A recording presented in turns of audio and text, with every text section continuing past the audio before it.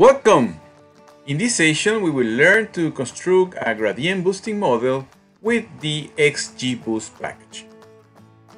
XGBoost stands for Extreme Gradient Boosting and according to the package author Tianqi Chen, the name XGBoost actually refers to the engineering goal to push the limit of computation resources for boosted tree algorithms. So the first thing that we are going to do is to install the package XGBoost. So we are going to write install packages XGBoost.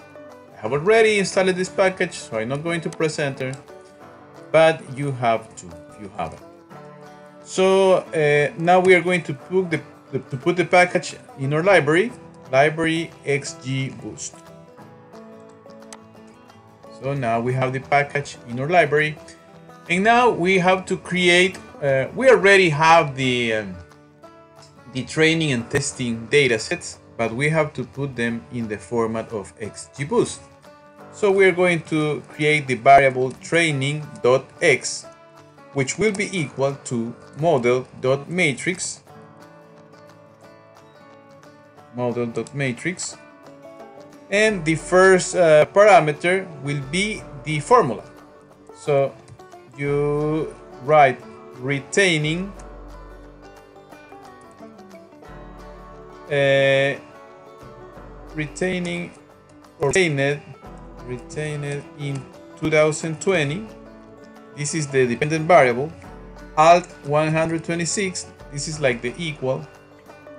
A point to signal that we have to use all the independent variables less than group state to be consistent with the previous model that we have created. And the second parameter will be the dataset. In this case, data equals to training. So we press enter.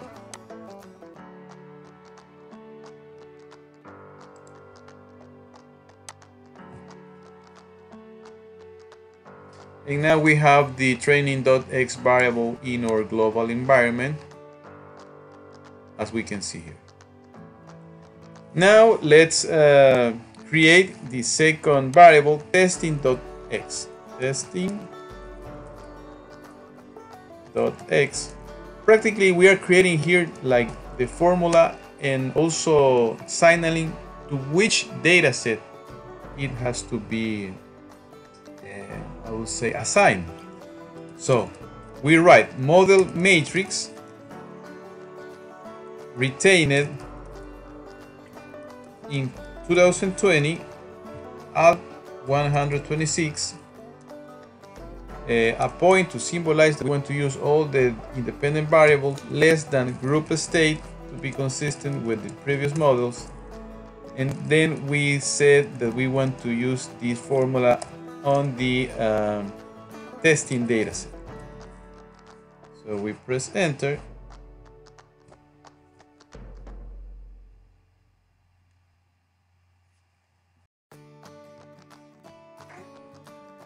When you double click on the variable training, uh, you can observe that all the factors have been transformed to uh, binary variables. As you can see, so program code becomes program code CD, program code CN. All of these are the factors, are the levels of program code. And then it has assigned a zero and a one to all the variables. That's how uh, XGBoost uh, requires the data. Now let's create the model of XGBoost. So we write model XGB equals to the function XGBoost of the package XGBoost and we are going to write uh, six parameters. The first two are uh, related to the data. So we write first data equals to data matrix. Then we are going to write data dot matrix parentheses training dot x and we are going to select all the rows and all the columns minus the first one because in the first one there was the intercept and we don't want that variable. Shift enter to go to the other line label equals to as dot numeric. We're going to transform all the variables to numeric and as character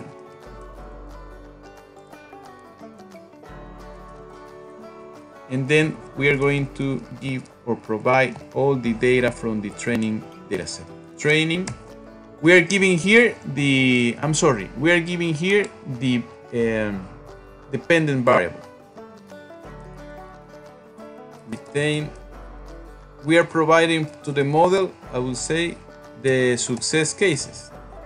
So the variables, the 0 and 1 that we want to predict, shift enter and now we have to provide uh, four parameters or three parameters in one function object. The first parameter is the parameter eta. The default of this parameter is 0.3 and it can uh, get a range from 0 to 1. And this parameter controls the learning rate, namely the rate at which our model learns patterns in data. After every round, it shrinks the feature weights to reach the best optimum.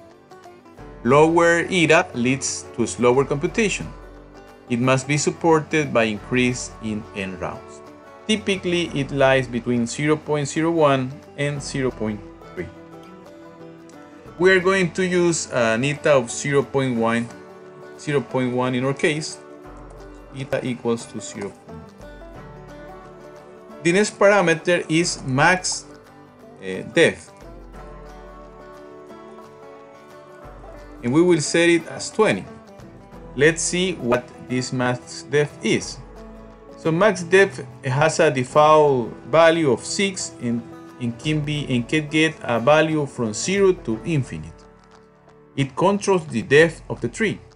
Larger the depth, more complex the model. Higher chances of overfitting with a complex model. There is no standard value for max depth. Larger data sets require deep trees to learn the rules from data. So we have set this uh, max depth to 20 in our model. We are setting these parameters, but as a, an assignment, you will have to change and play with this parameter to get a better model. The next parameter will be n round. We will set this parameter in, as 50 and let's see what n round is. So the default value of n rounds is 100 and this parameter controls the maximum number of iterations. For classification, it is similar to the number of trees. So this is the number of trees that we are going to use in our model, 50 trees. And finally, we are going to set the objective of our model. In a specific case, we are as we are uh, uh, practically we are doing a classification model of two variables, 0 and 1. That's why our retaining in 2020 variable has as value. We are going to use a binary logistic model.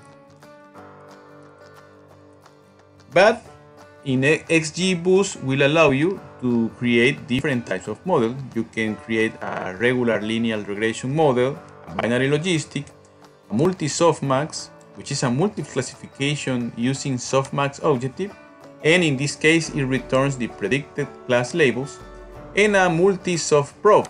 In this case it is also a multi-classification using softmax objective, but in this case it returns predicted class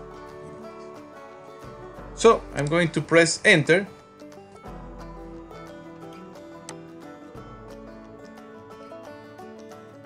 And it starts training the model as you can see.